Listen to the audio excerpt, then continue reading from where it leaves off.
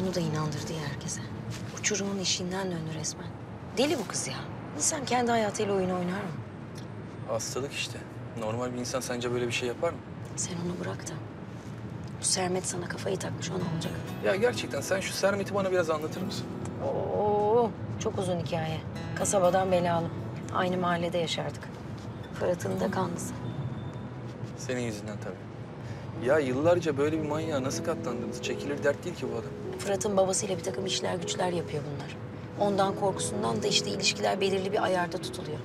Yani hep nazik davranır bana. Tek istediği işte hayatımda biri olmayacak. Ya böyle bir şey olabilir mi lan? Bir de oturmuşsun burada sakin sakin anlatıyorsun. Vallahi aklım almıyor. Bana bak yarın ilk işim sana bir koruma yollamak aklında olsun. Ya yok, gerek yok. Merak etme bana bir zarar dokunmaz. Zaten ben dava açacağım bu sefer. Artık susmayacağım. Ama şöyle ya bir şey yapmak lazım tabii. Bak bundan sonra her koşulda, her şartta ben senin arkandayım. Korkmana gerek yok, korkulacak bir şey yok tamam mı? Atıf'cığım ben buralara birilerinden falan korkarak gelmedim zaten. Sadece seni korumak için ayrılmalıyız o kadar. Narin Hanım, benim de kendimi korumak için bir takım numaralarım var elbet. Şimdi ayrılırsak ne olacak? Irmak yine çıldıracak. Şüpheleri depreşecek. Deniz'e de bu şüphelerini aktaracak. Deniz şüphelenecek, sen üzüleceksin, Deniz üzülecek, herkes üzülecek. Ben ne yapacağımı biliyorum, sen bana bırak. Ne yapacaksın? Görürsün yaptığım zaman.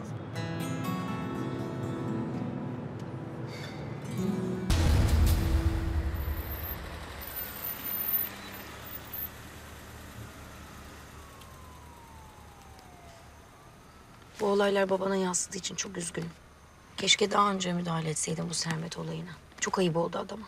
Yok canım ne ayıbı. Adam zaten seninle tanışmak için can atıyordu.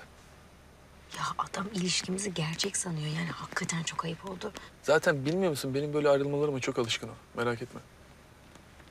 Peki. İyi misin? Ha iyiyim iyiyim.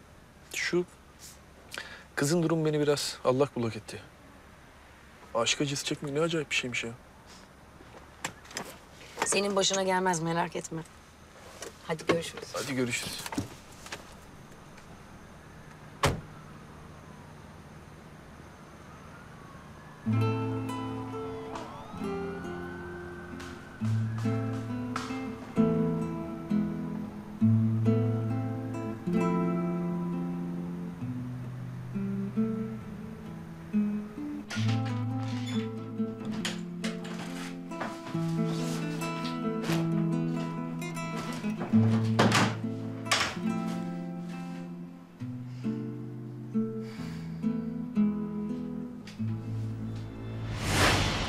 Ayrılacaksın o heriften.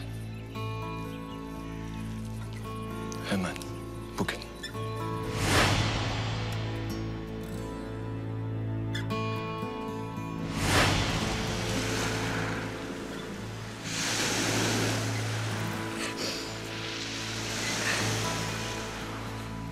Sen hep benim o güzel bakışlı küçük kızım olarak kalacaksın.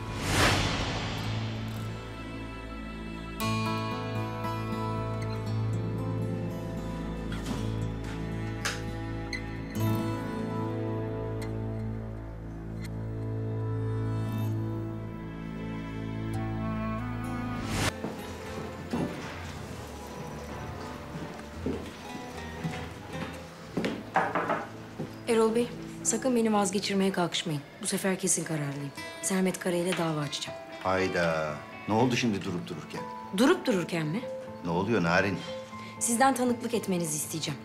Bugüne kadar beni gizli gizli nasıl takip ettirdiğini, Fırat Kazan davasında nasıl özellikle beni kullanmak istediğini anlatmanızı rica edeceğim hakim karşısında. Saçmalama Narin. Otur şöyle de konuşalım hadi. Ben kararımı verdim. Narin. Nar... Efendim Hülya. Kim? Silahtar Birsel mi? Tabii bağla, bağla, bağla. Günaydın Silahtar Bey. Nasılsınız?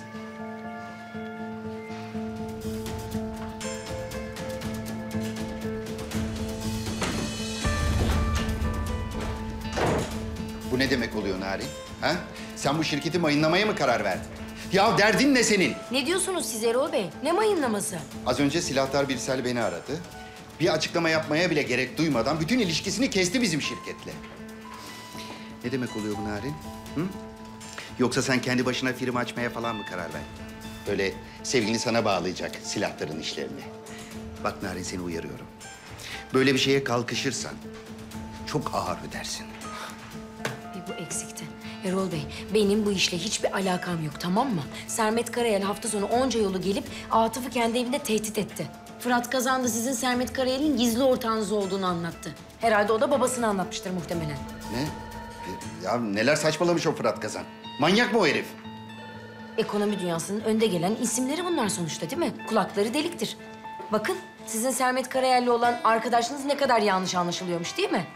Halbuki kredi davasında adınızın duyulmasını bile istemediniz. Beni ortaya sürdünüz ama olmadı işte değil mi?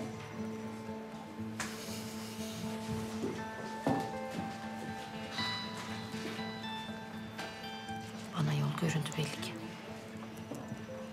Tazminatımı ödese bari.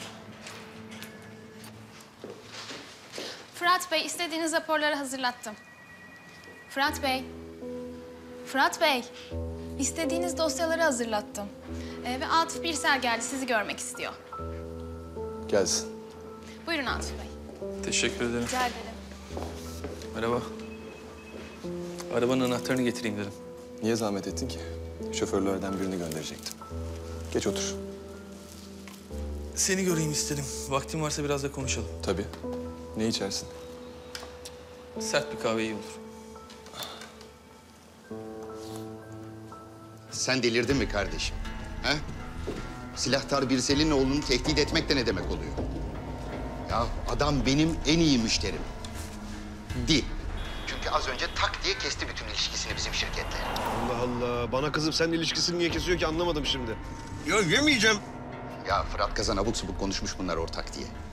Ve kafasını bulandırmış tabii Atıf Birsel'in.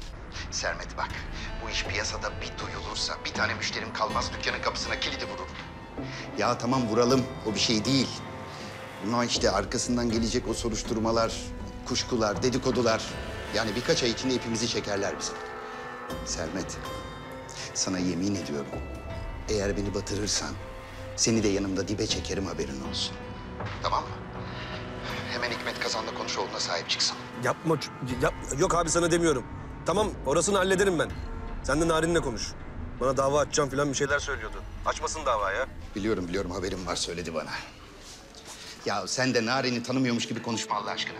Öleceğini bilse o kafasına koyduğunu yapar. Ama senin elinde çok daha büyük bir koz var. Senin vazgeçirmen daha kolay. Yok. Şadiye hazır değil daha insanın içine çıkartamam. Ha, zamanı ya da değil. Başka çaren yok. Toparla şu işi Sermet.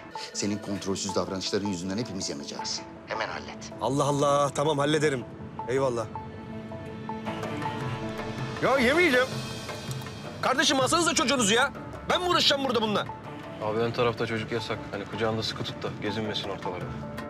Öyle. Kanalımıza abone olarak tüm videolardan anında haberdar olabilirsiniz.